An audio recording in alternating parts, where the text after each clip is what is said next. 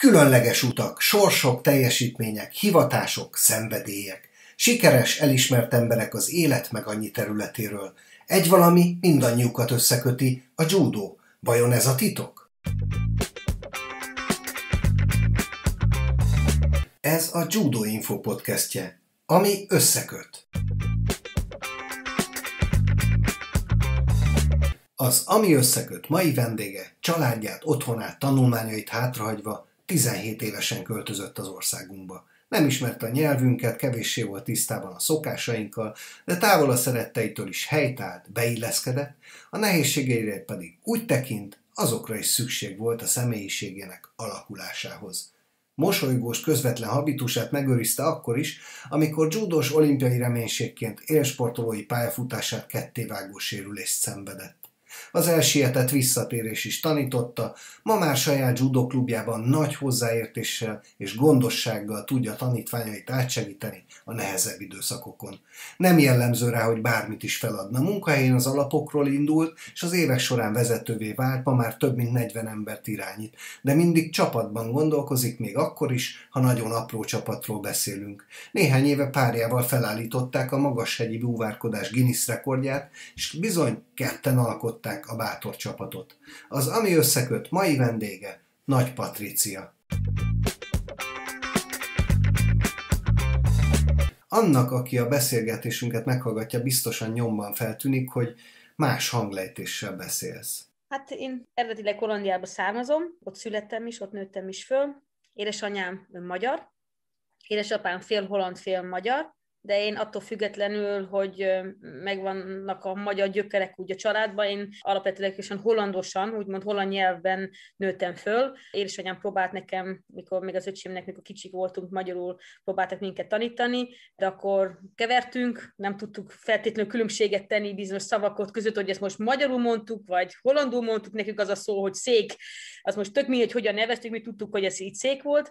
Édesanyámat behívták az óvodába, és azt mondtak, hogy hát a, a a kislány olyan szavakat használ, amelyeket nem ismerjük, és talán jobb lenne, ha először hollandul tanulna meg, és akkor édesanyám nagyon megijedt, mi egyedül külföldiek voltunk, akkor úgymond külföldiek ebbe az iskolába, és akkor kicsit megijedt, és akkor mondta, jó, akkor először tanuljuk meg hollandul, és akkor majd, ha kicsit nagyobbak a, gyerekek, akkor átváltuk magyarra, de ez valahogyan sose igazán jött, bár minden nyáron itt Magyarországon voltunk a nagyszüleimnél, de valójában mindig ott volt anyám, édesanyám, ő mindig fordított, mindig, és kisgyerekként ez teljesen másik világ volt. Ott megtanultuk nyáron 30-40 szót, azt használtuk ilyen nappal, mindenki megért, nem volt ez a gátlás, mint most, hogy, hogy hogyan fejezem ki magamat, vagy, vagy mit, mit, hogyan is mondjak meg, ez sokkal lazább volt akkor, és akkor minden nyáron szépen egy középfok magyar nyelvtanfolyamon átmentem, azt majd a következő nyára szépen elfelejtettem, és így ment ez újra meg újra. És akkor így, és akkor majd, amikor Magyarországra jöttem, akkor, akkor nem beszéltem nagyon jól magyarul egyáltalán, csak tényleg egy pár szót, mert a iskolai tanulmányok miatt akkor már angolul, franciául, németül egész magas szinten tanultam, és akkor magyarra úgymond nem volt úgy szükségem, és úgy négy nyelv már úgy elég is volt így hirtelen És akkor, amikor Magyarországra költöztem, akkor, és a magyar válogatott képviseltem, akkor úgy éreztem, hogy, hogy az egy kutya kötelességem magyarul minden jobban megtanulni, ha már Magyarországot képviseljek, akkor legyen az is egy, egy, egy fontos lépés az életembe. És akkor hát ezen a szinten vagyok most, mint amit most hallasz. No, de ne rohanjunk ennyire előre. Elárulod, hogy hogy mondják a nevedet Hollandiában? Hát az én nevem, ugye fordítva mondják, ugye a Hollandiában az én barátaim vagy a családom, mert mindenki úgy mondja, hogy Patricia Nahi, az, a, az, a, az én holland nevem, úgymond, hát magyarul ugye Nagy Patricia, teljesen más. No. Ugyanaz, de mégis más. Említetted, hogy Magyarországra költöztél. A Judo Inside adatbázisában találtam 1994-ből két érdekes adatot. Májusban Hollandiában az ifjúsági bajnokságon szereztél ezüstérmet, és ugyanabban az évben ősszel már megnyerted a magyar junior bajnokságot.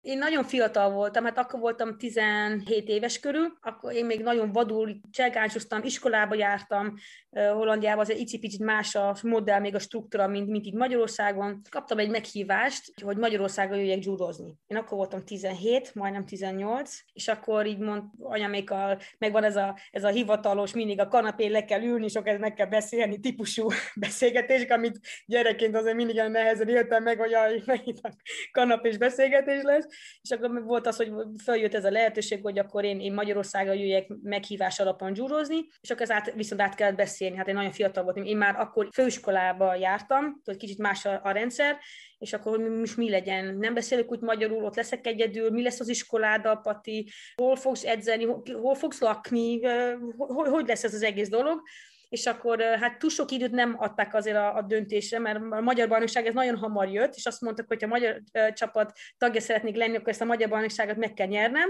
és akkor mondtuk, hogy, és akkor én nagyon izgatott lettem, hogy ez nekem egy nagy kaland volt, hogy jaj, de jó, és akkor így döntenöm kellett, hogy most mi legyen holland válogatott, vagy magyar válogatott. Én mondom, én nagyon szívesen kipróbálnám, nekem ez egy nagy kaland lenne, én Hollandiában ugyanúgy azért egy, egy, egy eredményes, nemzetközileg egy eredményes versenyző voltam, de szívesen ugye ennek a kalandnak nekivágtam volna, vagy hát meg, meg is tettem. Először a Magyar Bajnokságra jöttem csak édesanyámmal Magyarországra, akkor azt a Magyar Bajnokságot én megnyertem, és akkor onnantól kezdve nagyon-nagyon gyorsan történtek ugye az események, hogy akkor magyar válogatott, akkor ténylegesen oda költözni fiatalon, nyilván nekem van egy testvérem is, szüleim otthon dolgoztak, otthon laktak, hát ott volt, Hollandiában volt nekünk a bázisunk, és akkor ennek az egésznek a kiépítés, hogy hogyan lehet ezt hogy, hogy azért elég fiatalon az, ahhoz képest nagyon hamar kellett fölnőjek, és nagyon hely, hamar kell, kellett helyt álljak, úgymond a, a felnőtt életbe, hogy az egy izgalmas történet, hogy azért látszik az, hogy ugyanebben az év évben én két országban szerepeltem,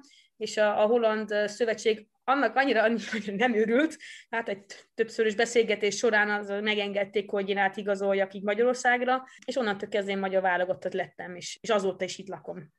Mikor ide költöztél, akkor kihez költöztél, vagy ki, ki segített? Egy nagy budapesti egyesülethez jöttem, és ők abból támogattak engem, hogy, hogy legyen egy szálláshelyem, hogy tényleg azért a, a, az infrastruktúrát úgymond valamennyire mennyire ki legyen építve, és akkor úgy jöttem, hogy azért ez meg volt beszélve, hogy akkor hol fogok lakni, hogy lesz minden, és akkor ők abban segítették, hogy tényleg azért így, hogy 17 évesen teljesen egyedül, nem beszélve a nyelvet, szülők nélkül úgy jönni, hogy és engem Budapestre, én egy kisebb városból származtam, Hollandiából, Budapest az egy nagy világváros, én azt sem tudtam, merre van az előre szó szerint abban a városban, hogy abban ők azért segítették és támogattak, hogy akkor az alap dolgok úgy rendben legyen. Onnantól kezdve már a saját lábamon kellett állnom, de az azokban ők, ők, ők nagyon támogattak, hogy akkor itt fogsz lakni, itt lesznek az edzésnapok, itt fogsz edzeni. Titok, hogy ez melyik klub volt? Nem titok, ez a Budapesti Honvéd volt. Volt, amikor meginoktál, hogy esetleg rossz döntést hoztál? Hát, én hiszek a sorsba, Roli, és, és azért mondom én ezt, mert én hiszek azért, hogy dolgok valami miatt történnek, vagy az én életemnek valamilyen szinten olyan, mint a milyen, mert, mert én, én hiszek a sorsba. És sokat tanultam. Most azért hallasz engem egy kicsit gondolkodni, és egy kicsit úgy, úgy nehezen válaszolni, mert én ebben nagyon sokat tanultam. Nekem, nekem nagyon nehéz volt Magyarországra költözni. Pláne azért is, amit mondtam neki, hogy egyedül voltam, fiatal voltam, nem ismertem senkit, amikor gondolható csak ilyen apró dolgok, mikor külföldi kislányként becsöppensz egy ilyen nagy világba, egy nagy egyesületbe, sok másik egyesületekben, én megnyertem a magyar bajnokságot, hát ez gondolhatod, hogy én azonnal nem rögtön nagyon sok barátot szereztem magam körül, így, így nehéz volt, lelkileg így, így, nehéz volt, akkor nem volt az, hogy internet, hát akkor jött az internet körülbelül, meg, meg, meg a mobiltelefon, tehát embertelen drága is volt, hogy mindig így hazatelefonáljuk, hogy így, így nehéz volt és én egy kicsit Hollandiában az egész judo kultúra, meg az egész sportvilág, ez icipicit másképpen működött, mint Magyarország. Most, most így sok-sok-sok évvel később így kicsit objektívebben tudok erre az egész dologra ránézni, akkor nem tudtam. Én, én, én azt tudtam, hogy én szeretnék a világ legjobbja lenni, és én mindent meg szeretnék elkövetni annak érdekében, hogy én, én annak váljak, és én, én egyébként nagyon szorgalmas voltam, és, és nagyon jó hiszemű. Ha az edzőm azt mondta, hogy csináld ezt, akkor én azt csináltam. Utólagosan azért ebben nagyon sokat tanultam. Azért ez nekem egy nagyon kemény világ volt. Így Magyarországon azért sok minden akkor időben nagyon eredményorientált volt, és nekem pláne szerintem, amivel együtt is voltam, nekem ez az emberi oldal, ez nekem nagyon kellett, és nagyon hiányzott. Nagyon sokat edzettem, nagyon sokszor túledzett állapotban voltam, sok sérüléssel is szenvedtem, nem tudtam mindig úgy felépülni ezekből a dolgokból, ahogyan, ahogyan esetleg most pláne most edzői szemból nézve ugye helyes vagy jó lett volna. Így nehéz volt, de hogy megbántam-e, semmiképpen sem, mert, mert nagyon sok jó is történt, tudod, ez nem csak nagyon nehéz volt, azért én, ez az egész helyzet, még az egész judo, az nekem rettenetesen sokat adott, formált engem, a, a, és avval váltam, akivel, aki most jelenek vagyok, de nagyon sokat tanultam, hogy bánni semmiképpen nem bántam, én, én, én nekem egy nagyon klassz életem van, hál' Istennek, én nagyon sok, nagyon klassz tapasztalatot szereztem, nagyon sok élményt is, láttam a, a dark side-ot, a sötét oldalt is, kicsit gyakrabban esetleg, mint az ember úgy megkívánta, de, de minden esetre bánni nem bántam. Hogy tanultam ebből sokat, az viszont az biztos, edzőként másképpen is csinálnék dolgokat, az is biztos, de bánni nem bántam. Szerintem mindennek, még akkor is, ha néha kicsit magas árat fizettem érte, talán úgy kellett történni, mint ahogyan történt. Amikor ide költöztél, az iskolát abba hagytad teljesen, vagy itt egy másik iskolát kezdtél? Hát mikor én jöttem ide, akkor én abba hagytam Hollandiába, mert ott viszont nem támogattak azt, hogy én távoktatásból ezt, ezt, ezt megoldjam. Akkor harmadéves főiskolába, vagy főiskolás voltam. Ilyen nemzetközi kommunikációs, logisztikai irányba tanultam. Nekem furcsa volt, amikor jöttem, hogy hát akkor most nem tanulok, hogy ez hogy van. Napi kettőt edzek, és akkor ennyi? Ennyi az életem? Most hogy van ez? Vagy hogy áll össze ez a dolog, és akkor így mentem az edzőmhoz, hogy én viszont szeretnék tanulni, számomra ez fontos szeretnénk, szeretnénk fejlődni, de mivel úgy nem beszéltem úgy angolul vagy magyarul, akkor nekem ilyen magyar iskolákba belecsöppenni nagyon nehéz volt. És mivel a iskolarendszer egy kicsit más még volt, tudod, hogy nagyon nehéz volt egy olyan iskolát találni, ahova én angolul akár tudjak úgy tanulni, hogy ez nekem akkor jó lett, és sporttal kombinálhatom, mert azért napig kétszer edzettem reggel, még, még, még délután is. És akkor elkezdtem egy gimnáziumba járni, mert addig rágtam az edzőnek a fülét, hogy akkor szeretnénk, ha már Magyarországra jöttem, és lehet, hogy itt a tanulmányomat nem fogom tudni úgy elvégezni, akkor viszont szeretnénk magyarul tanulni, a magyar történelem, mert nagyon szép és nagyon nagy, nagyon nagy történelem van Magyarországnak, akkor ezt meg akartam tanulni, és akkor így megegyeztük egy gimnáziummal, hogy én a, hát majdnem az érettségit a magyar tantárgyokból megcsináljam, és akkor úgy szépen így elkezdtem magyarul tanulni is, meg a magyar történelemről nagyon sokat, meg az irodalomról, és akkor próbáltam magamat egy kicsit a, a magyar részemet, ugye, mert fél magyar is vagyok, hogy a magyar részemet így erősíteni és bővíteni. És majd utána, amikor már azért a, a sportpályafutásomnak a, a végét kicsit így láttam, akkor viszont így, így elég hamar már bekombináltam a kettőt, akkor visszamentem, akkor kerestem időközben, már tudtam Hollandiába is, mert nekem hollandul azért könnyebb tanulni, mint magyarul akkor, és akkor én viszont egy távoktatásba lediplomáztam a, a főiskoláról, már kicsit készül az is, hogy megvan a topsport karrier, de magán, mint magánként, majd topsport után legyen is, amire én vissza tudok nyúlni hogy ne teljesen egy ilyen nagy lyukba belessek. Már pályafutásod végére értél, pedig még az, az elején vagyunk. Említetted, hogy a magyar judo kultúra az más volt, mint a holland, de gondolom egy csomó minden más volt ebben az országban, mint otthon, vagy nem tudom, hogy mondod. Hát most már nekem Magyarország otthon, már, de igen. Szóval mik voltak azok a dolgok, amikre nagyon rácsodálkoztam, vagy ami nagyon rossz volt, vagy ami nagyon jó volt? Mások itt az emberek, mint Hollandiában. Mások. A hollandok azért úgy nagyon direktek, nagyon szívük, szájuk, és nekem az meg kellett tanulnom, hogy, hogy, hogy ez így, így azért kicsit finomabban kell, vagy kicsit másképpen kell magadat kifejezni. Meg kellett szoknom, mert, mert a hollandok tényleg úgy mondják, és ezzel nem sértődik meg senki, vagy nem bántod meg senkit ezzel, meg kellett szoknom, hogy másképpen kell esetleg bizonyos helyzetekben kifejezni magamat, vagy elmondani, ha valami nem mukés volt, vagy csak visszacsatolás, vagy a véleményemet megosztani valakivel. De amúgy egyébként Magyarországot nagyon szerettem.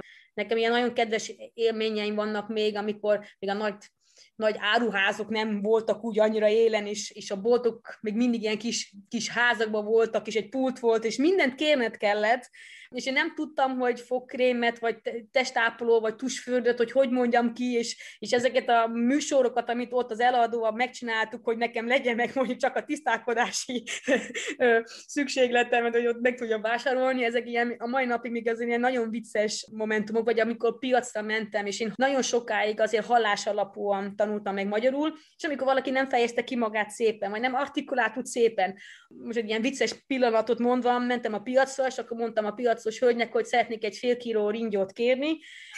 Az a mindenki, és én nem értettem, hogy miért mosolyognak úgy, és nyilván ringló, de amikor így nagyon gyorsan mondja valaki, és nem olyan szépen artikulál, akkor ezeket a kis hát nuansznak lehet hívni, aztán mégse az, nem, nem hallatszódott így, és akkor nekem így számtalan ilyen pillanat volt, így utólagosan ilyen nagyon vicces, de Magyarországot alapvetően nagyon szeretem. Én nem bántam meg, hogy én ide jöttem lakni, én nagyon, az, azért is mai napig itt vagyok, azért az már, már sok-sok-sok-sok év, hogy itt vagyok, és szeretem az embereket is, és szeretem a, maga az országot is, én, én szeretek itt lenni nagyon. Mondtad, hogy azért költöztél ide, mert hívtak, hogy magyar válogatott legyél. Mit kaptál meg a karrieredben? Mik voltak azok a sikerek, amiket elértél? Abban az időszakban azért egy ilyen jó programba belekerültem ilyen szempontból, nyilván az eredmények alapján, és akkor így nagyon sok lehetőség volt tényleg edzőtáborokba járni, külföldre járni, edzőtáborokba. Én, én, én, én azóta is rengeteg barátokra tettem szert, olyan kapcsolatokat, amit a mai napig itt használom, legyen ez akár Hollandiában, legyen az akár Belgiumban, Németországban,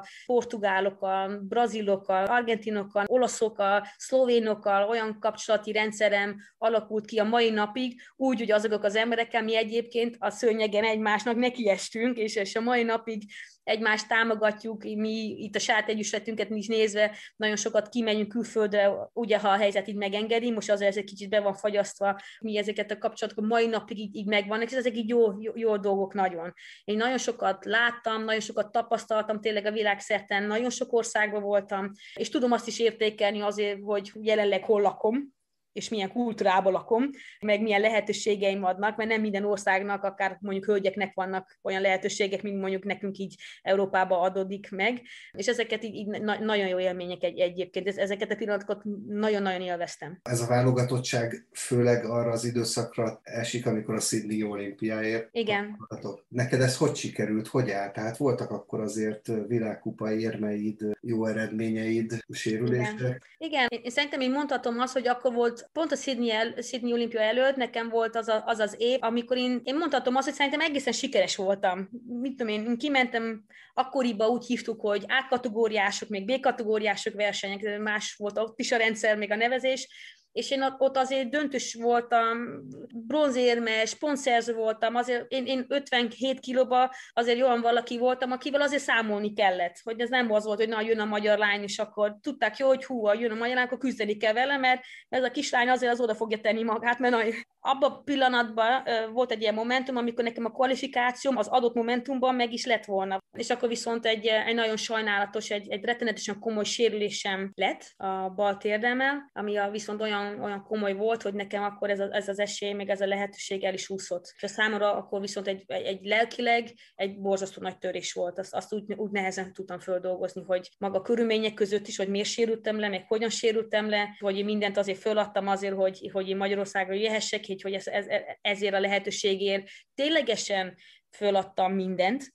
tehát azért a mai fiatalok azért, hogy mit, ki mit ad föl, meg ki mi mennyi mindent tesz azért, hogy valami sikerüljön. Ez, azért nekem ez, ez, ez keserű volt akkor, akkor ez engem így nagyon-nagyon megviselt egyébként. Meg is törtem egy picit akkor lelkileg így, így ebben. Nem értettem, hogy miért történik, vagy miért így, vagy miért, miért most, miért így, miért velem. És mégis folytattad. Igen, igen mert én maga a sportot nagyon-nagyon szerettem, és nem, nem tudtam elfogadni, hogy így legyen nekem vége, vagy ne így. E, ezért én túl keményen dolgoztam, és túl kemény utat jártam be, hogy így legyen vége, meg másik oldalról is vissza is kellett állnom, mert jöttek, hogy Pati kellenek az eredmények, tehát az is mondtam, hogy azért ez egy más történet volt, hogy azért most, mint edző vagyok, és nekem azért kezdnek nekem is jó, ügyes versenyzőik lenni, így azért látom azt, hogy egy bizonyos sérülés után azért milyen fajta pihenő kell, regeneráció kell, milyen fajta kezelések kellenek, hogy az ember úgy tudjon visszaállni, hogy nyilván amikor valami megszakadt, eltört, az már sose lesz százszázalékos, de közel a százszázalékos játékhoz. Nekem akkor abban az időben azért ez nem volt annyira meg ez a lehetőség, hogy én sérülésekből tényleg kellőképpen jól tudjak föl, fölépülni. Az eredmények akkor nagyon fontosak voltak, és akkor így, így hamar kellett úgy visszaállnom az egyrésztről, más oldalról meg nem tudtam elfogadni, hogy így legyen nekem, nem nekem, nem Nagy Patriciának, aki, aki itt van, és azért a, a magyar szívem azért nekem is dobó keményen, és így nem lehet, így nem lehet. Próbáltam visszatérni, de azt látom azt, hogy olyan helyzetbe kerültem is vissza, hogy, hogy ott nekem egy nagy törés volt. Előbb utóbb azt vettem és hogy a tűz ez úgy kihunt. Igen, sajnos. De még itt vagyok a magyar judo világban, hogy az a tűz az visszajött, egy, egy, egy judós mindig judós. Lehet, hogy egy, idő, egy rövid időre egy picit megpihen, de egy magyar judós azért mindig judós marad, akármi történik. Hogyan jutottál ide-vissza? Próbáltam, mert akkor nekem egy nagy űr volt, mert eddig voltam Nagy Patricia, magyar válogatott judós, aki reggel 9-től délig edzett, és utána 4-től 6-ig edzett, akkor most ilyenkor mi van velem, ki vagyok ilyen, vagy most mit csináljak? Elmentem dolgozni, találtam a saját erőből egy, egy munkahelyet, ahova a, a tudásomat, meg a nyelvek, amelyeket én beszélek, jól tudok használni, ez egy multicégnek mentem dolgozni, és itt az évek során vezetői szintre följutottam, és a mai napig is abba tevékenykedem, pénzügyi menedzsernak vagyok titulálva, 40 valahány embernek a munkáját koordinálom, még vezetem, és nagyon szeretem. És ebből is nekem is, az nekem is egy, egy nagy tanulság volt itt is azzal, hogy a saját együttsetünket is nézve, hogy próbáljuk mi is azért ezeket a gyerekeket úgy támogatni, hogy azért nálunk azért nagy hangsúly van abban, hogy minden az, ami nem csak nekem van, páromnak is, több edzőnk is van, aki azért nagy együttseteknél edzettek, hogy ők ott mit tapasztaltak, hogyan látjuk, hogy tudjuk a gyerekeket, mert más generáció, mint 20 éve ezelőtt volt, mi az, ami nekik már fontos, és sokkal egyénileg próbálni kiszabni azt az utat, ami nekik jó. És nekünk azért nagyon-nagyon nagy fontosságú sorrendben van azért a, a sportolás mellett az iskola is, és pont az is, hogy mi, mi támogatjuk pont azoknak a kapcsolatrendszerekkel, és mivel mi, nálunk is mindenki dolgozik vezetői pozíciókba is,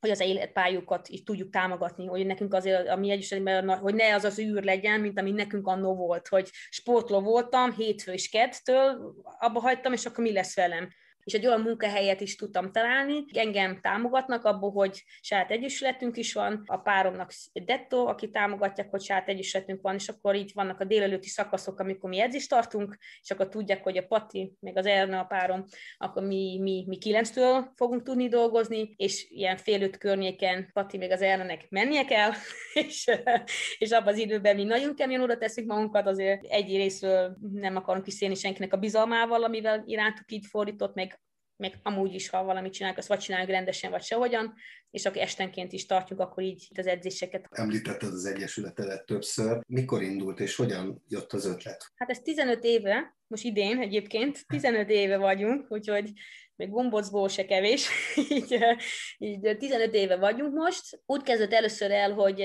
valaki nagyon szeretett volna, hogy neki tartsak edzést. Egy pillanatra el is kezdtem, és akkor utána jöttünk arra szintre, hogy ezt én magamnak is szeretném csinálni, és akkor elkezdtem először saját egyesületet úgymond alapítani.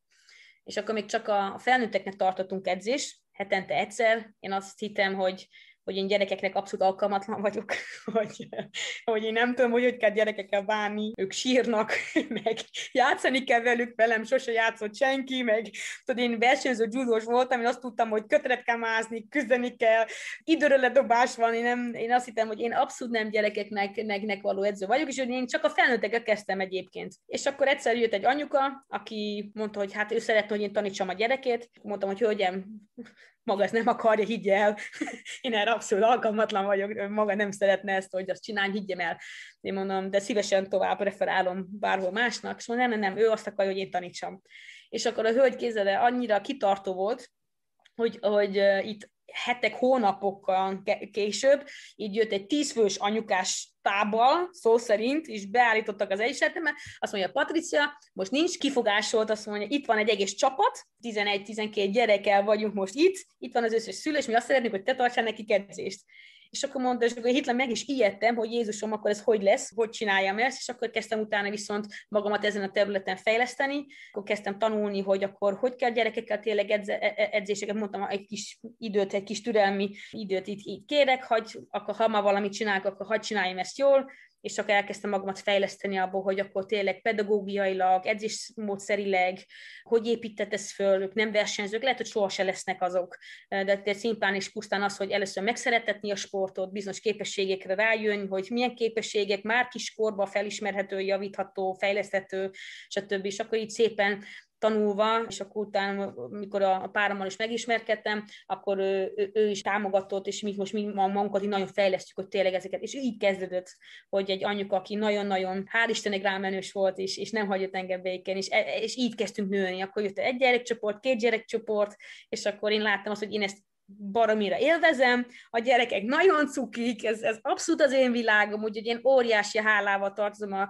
az anyukának a mai napig, mert ha ő akkor nem lett volna ilyen kitartó, mert szerintem az a legjobb szó, akkor lehet, hogy a mai napig akkor nem tartottam volna valószínűleg gyerekeknek edzés, és akkor nekem nem lettek volna azok a klassz élmények, ami, ami, ami most viszont a gyerekek által kapom meg, hiszen ez már róluk szól, már, már nem rólam amikor majd hallgatják a hallgatók ezt a beszélgetést, ők nem tudják, hogy mi azon a napon beszélgettünk, amikor az egyik tanítványod egy felnőtt olimpiai kvalifikációs versenyen helyezést érte, nagyon szépen szerepelt, Szeredás Botondról beszélünk. Uh-huh. Ő is a kezeid alatt formálódott? Igen, ő, ő volt még a, az első csapatka, amit így kezdtünk így építeni. Ő volt a, az egyik fiú, mert vannak többen még, aki abban a csapatból még mai napig, és akkor már szegénykő még nagyon fiatal, de az is már nem tegnap volt az se, ez már 13 éve, és én még csak 20, most akár elgondolom, hogy, hogy így, így nagy évszámokról beszélünk, de és ő ebből a kis csapatból ő fejlődött ebből ki, és a mai napig így nagyon szép eredményeket ér el, és, és ma is itt teljesített Prágába itt a, az első felnőtt versenyén, és, és ahol egy, szerintem nagyon ügyesen egy, egy, egy szép judóval egy hetedik helyezetet ért el,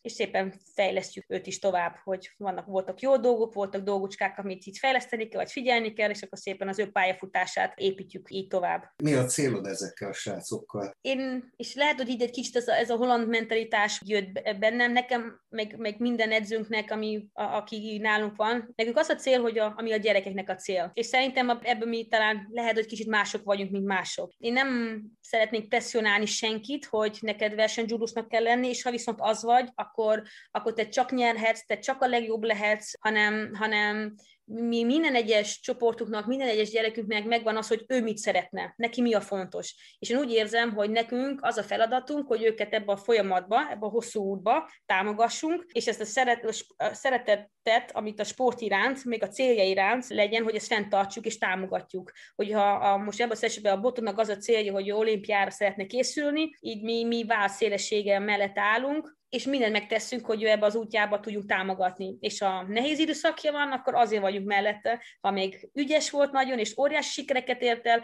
akkor azért vagyunk mellette, mert, mert ezt az örömet és sikert ugyanúgy úgy fontos megosztani egymással, meg, meg megélni, ugye? Mert sokszor ez néha elfelejtjük megélni ezeket a nagyon jó pillanatokat, hogy ugye így, mint válasz a kérdésedre, a gyerekek szabják ki, hogy mi a céljuk, és mi próbáljunk mindent megtenni, hogy azt a cél, akár is még legyen az, hogy ezt el tudja írni. Igaz, ez mondjuk felnőttekre, és vannak felnőtt tanítványaid is? Vannak, abszolút, és, és vannak olyanok, akik azon jönnek, hogy fia Patricia, vagy fia Ernő, én szeretnénk lefogyni, vagy én szeretnék egy tök jó állaképesség, akkor, akkor ő neki az lesz. Ha ő azt mondja, hogy ő szeretne esetleg mastersbe elkezdeni versenyezni, akkor mi ebből őt abba támogatjuk, és azt mondjuk, hogy jó, viszont ha megvannak a célok, és nyilván minél komolyabbak a célok, akkor viszont nekünk itt az egyesületünk belül egy nagyon komoly, vagy egy összerakó terv, ez nem ilyen adhok módon történik, hogy akkor na most akkor csináld ezt, ja, tudod, mi mégis csináld azt, akkor megvan az, hogy ha te ezt szeretnéd, akkor van egy kiépített út, amit mi, mi javasoljunk, hogy, hogy ez érdemes talán követni, hogy ezt a célt így elért, és akkor mi ezt így csináljunk. Hogy a felnőtteknek is, akár valaki versenyt szeretne lenni, vagy csak szimplán egy tök jó hangulatú társasághoz szeretne tartozni, tehát az is egy cél, akkor mi, mi ahhoz alkalmazkodunk. És ha valaki szeretne hozzátok csatlakozni, akkor hova menjen? Hát akkor hívjon föl. akkor írjon fel, hogy telefonra megismerkedjünk, mert nekem fontos, hogy mindig, amikor valaki jön, személyesen először megismerkedjem, és akkor a Újpesten van nekünk, pont a 13. kerület és Újpesti határnál van nekünk az egyesületünk, a Kellner Ferenc Sportközpontban, ezért olyan nagy boxterem van leginkább, és akkor ebben a boxteremben van nekünk egy 100, majdnem 160 négyzetméteres olyan szép kitatamízott termünk, és akkor oda jöhet edzésre mikor egyeztettünk, hogy milyen témákról beszélnék, akkor volt egy olyan téma, ami nagyon nem ez a terület. A búvárkodás. A búvárkodás. Igen. Mégis mi ez, és hogyan került az életedbe? Gondoltad-e valaha, hogy ez például egy ilyen fontos szerepet fog játszani? Nem. Az a rövid válasz a kérdésedre. Nem, abszolút nem. Hát most gondolj vele, Roland, én, én Hollandiában származom, én az a tengerszint alatt van, gondolhatod, és akkor megismerkedtem jelenlegi páromat, sok jelnövel, aki finoman ugye, ilyen fél év randizás is, és utána itt kérdezte, hogy fia Pati, van esetleg kedved elmenni velem egy kicsit túrázni? Mondom, hogy ne, hát én ez nagyon élvezem, én tudtam, hogy búvárkodik, és ilyen, ilyen szabad búvár is, és hogy neki ezeket a túrák, meg hegymászol, ez neki egy kis szemem, de ez csak úgy, úgy csak a felszínét karcoltuk ennek azoknak a beszélgetésekbe. Csak elmentük egy túrára, ami a, a dobogókő volt, az volt akkor az életem legmagasabb pontját, amit akkor vele elértem, és akkor kérdezte, hogy, hogy nincs-e kedvem elmenni a Himalájára. Hát az gondolatod róla, hát ez leállt körülbelül a légzésem is közben, mondom, a Himaláján, mondom, ne hüskedj át, hogy, hogy és akkor ugyanúgy, mint az edzés, még a sportolás közben, akkor meg volt egy ilyen kis tervecske, hogy erre hogyan készülünk föl. És akkor először csak szimplán ilyen túrázás indult így el, és akkor elmentünk a Mont Blancra, Himalájákra, az Alpokba, és akkor szépen elmentük így a túrácskánkat úgy megcsinálni, ami az ilyen 5000-6000 méter környéken így mozgott, és akkor egyébként, amikor az ember így ott van, akkor, akkor maga a természet, ez, ez, ez, ez gyönyörű. Ez, ez, ez olyan világ, ami, elmondani se tudom, hogy menj a Discovery Channel-ére látod, de ez teljesen más, amikor ott vagy, és ezeket látod, és akkor ő már, ő már rég kiszemezte, de azért viszont óvatosan itt, itt csöpegtette nekem, és akkor nagyon sok ilyen kis hegyi tavak, hát kicsi, né, néhányuk, azért jó, jó nagyok, és tavakat látod. És akkor mondta hogy hú, hát ő, ő neki ez egy nagy-nagy-nagy cél lenne, hogyha ő buvárkodhatna ilyen, ilyen, ezekbe a tavakba, és akkor ki is derítettük, hogy akkor a világrekord az 5000 valány 100 méter környéken volt, és akkor mondtuk, hogy na, akkor följött az ő sportolói, sportolói mentalitása, az enyém is, és akkor mondtuk, hogy jó, akkor döntsük meg.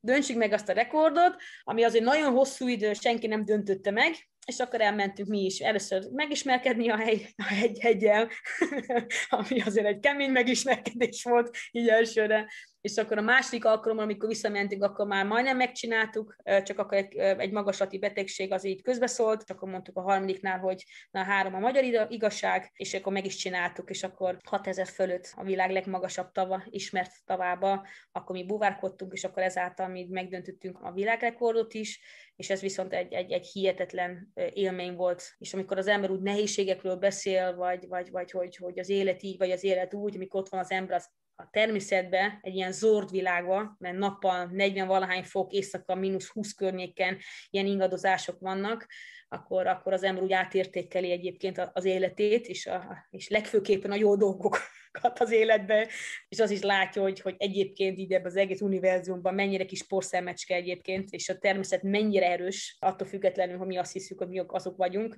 és az ember azért úgy, úgy, úgy, úgy átértéklik, és a mai napig ezeket a túrákat, bár nagyon kemények, de tényleg kemények, fölmászni, és ezeket itt megcsinálni, pláne ezeket a súlyokkal, amivel mi, mi fölmegyünk, de nagyon-nagyon-nagyon szeretem, nagyon-nagyon úgy helyre rak engem lelkileg is, fizikailag is, de, de, de nagyon szeretem. Gyöny, gyönyörű egyébként.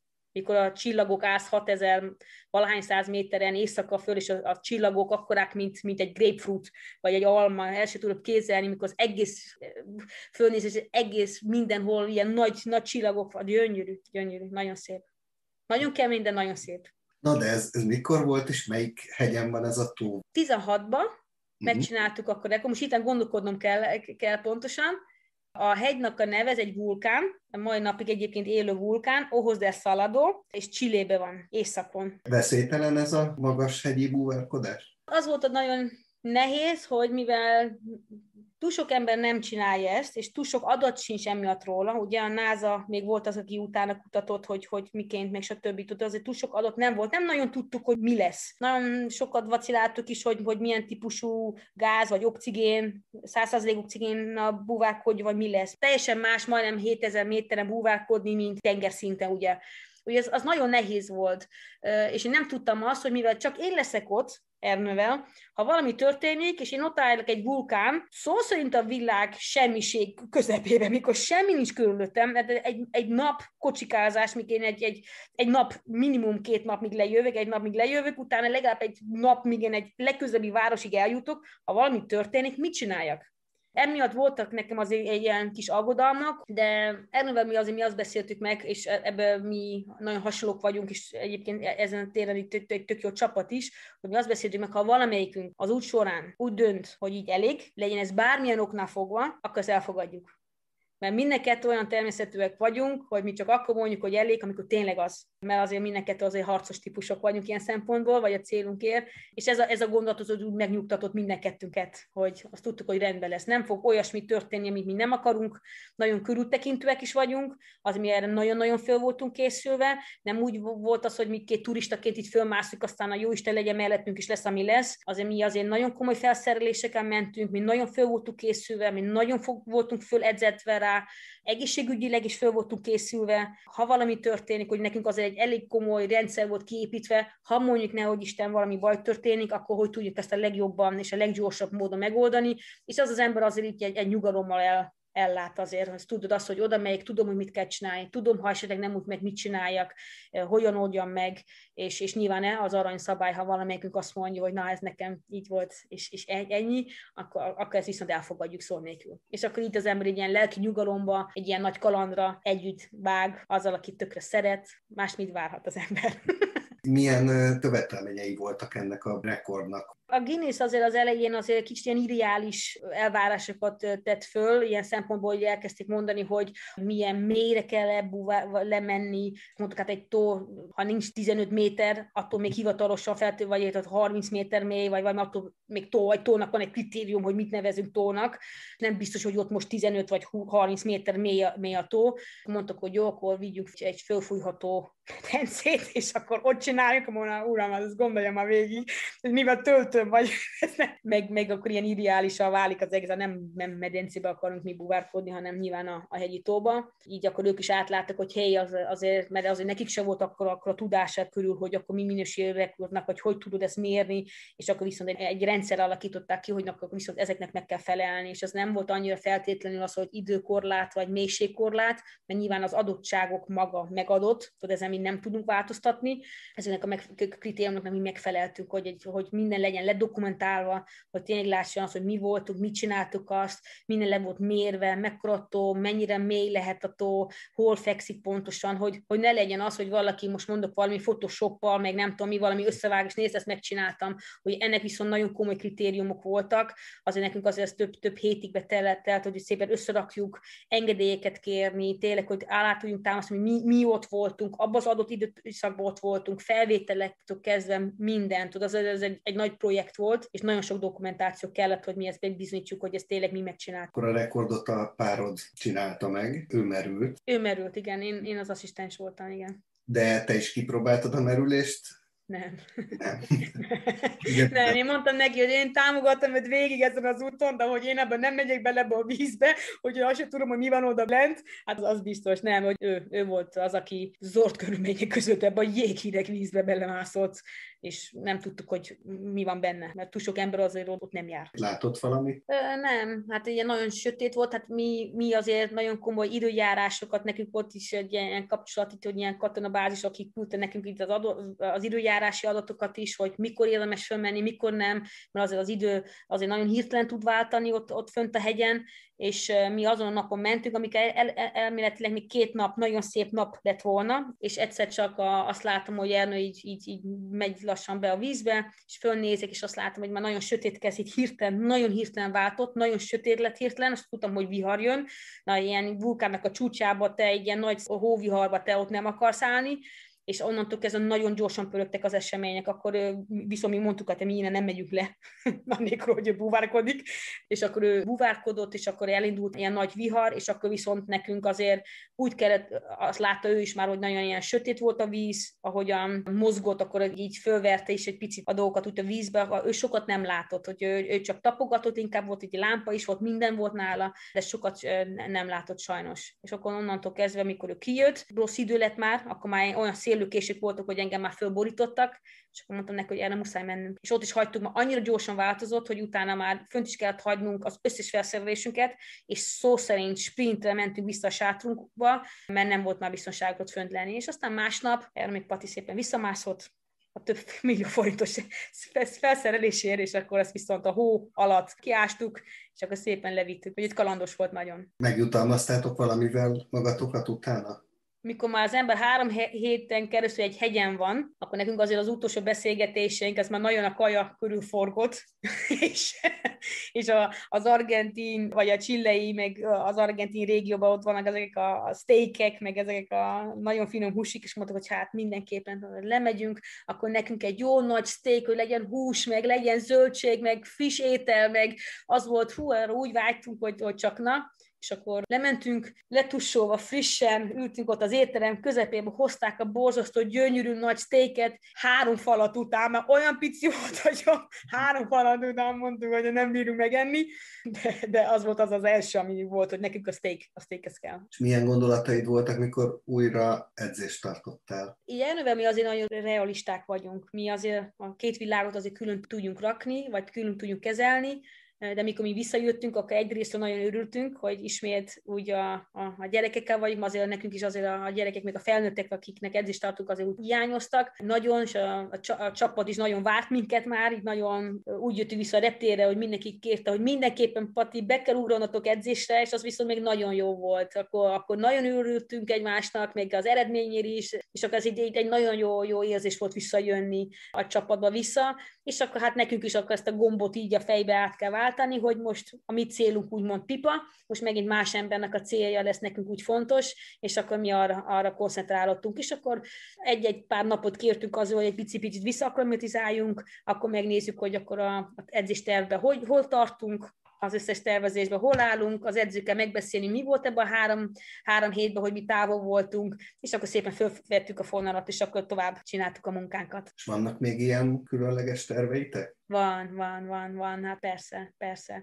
Mi folyamatosan minden évben egyébként megyünk, megyünk felfedezni, megyünk, megyünk, megyünk megnézni, megyünk megnézni, hogy hey, most milyen érdekességek vannak, hogy, hogy nem kizár, nem, nem lesz kizáró, hogy esetleg valamikor megint valamilyen érdekéssel bukkanunk föl, ez nekünk még aktív része az életüknek ez a, ez, a, ez a rész. Ebben a sorozatban mindenkitől megkérdezem, hogy neki mit adott a judó. Már beszélgetés során mondtál néhány dolgot, de ha így össze kéne foglalni, akkor neked mit adott? Nekem a judo mai napig egy nagyon fontos dolog az életembe, és mindig is lesz szerintem addig, míg én élni fogok. Én nagyon sokat köszönhetek neked, amit már mondtam a beszélgetés elején is, hogy engem azzal az emberrel változtatott meg, vagy azzal az emberrel váltam ami, ami azért a judónak nagyon sokat köszönhetek, és itt a kitartásomba is, meg a gondolkodásomba, a mentalitásom, a pozitivitásom, tehát azért sok minden úgy adott. Én nekem a judo az mindig nagyon fontos maradt, és mindig meg fogok tenni mindent, hogy, hogy valahogyan az a része, része az életemben tudjon maradni, mert tényleg az, azzal az emberrel lettem, aki, aki azért a judo is formált.